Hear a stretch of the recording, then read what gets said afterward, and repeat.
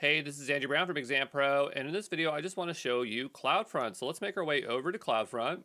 And CloudFront is a content delivery network and it's used to cache your data all over the place. As you can see, I have some older ones here. If you have a splash screen, what you can do is just look for the left-hand side. There might be a hamburger menu.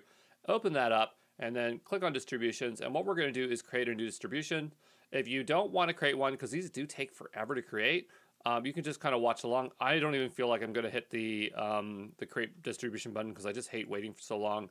But the idea is that you have to choose an origin, and so the origin could be something like an S3 bucket, a load balancer, media store. This is where um, the the content distribution network is going to source its content, right? So if I say this bucket here, um, and I just it would probably default to the root path.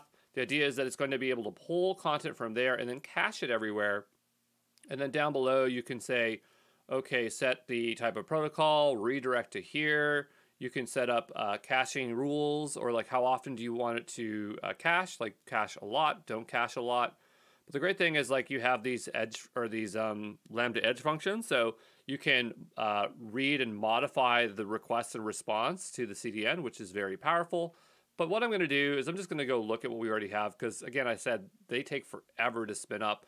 And we're not going to see too much if we do. So once it's spun up, um, this is what it looks like. So you'll have an origin. It says where it's pointing to. You can create multiple origins, group them. Uh, you can modify your behavior. So that was basically what we were looking at before. As you can see, we have our behavior there. Nothing super exciting.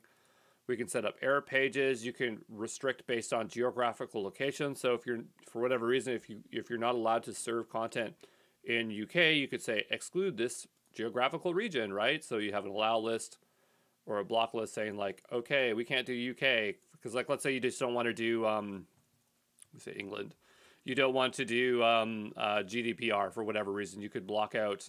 I don't know. I'm having a hard time here. Britain, England. It's England, right? United Kingdom. There we go. So you just say, okay, forget United Kingdom. I don't have to do GDPR now. Uh, for invalidations, the idea is that you know it is a cache, so uh, things can get stale or just persist. And so here you can just type in, say, I want to get rid of uh, image.jpg, and then you create that invalidation, and then it will go delete it out of the cache. And so the next time someone requests, they'll get the, the fresh content. This usually doesn't take that long. But that's pretty much CloudFront in a nutshell, okay?